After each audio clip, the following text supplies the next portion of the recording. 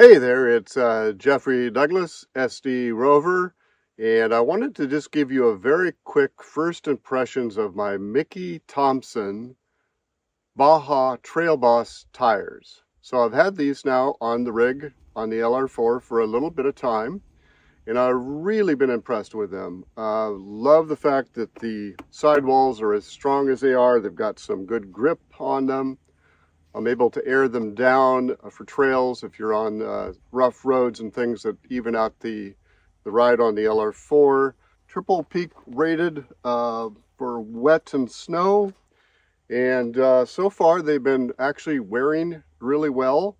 And surprisingly enough, I had some Cooper tires before that were much less aggressive and they made more road noise than these do. These run relatively quiet. They're not obviously street tires uh, but they run relatively quiet down uh, down the road. Um, so far, they're wearing really well, and um, so super happy. Would definitely recommend that you take a look at them if you're in the market for some tires.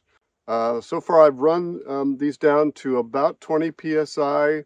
Don't go much lower than that. Don't have bead locks or anything like that. But so far, had a great experience with them. Highly recommend them. I would greatly appreciate it if you would like this video or absolutely would really like it if you would subscribe. Do a lot of gear reviews and things of that nature. And uh, if you see me out on the trail, be sure to say hi. And remember, get outside.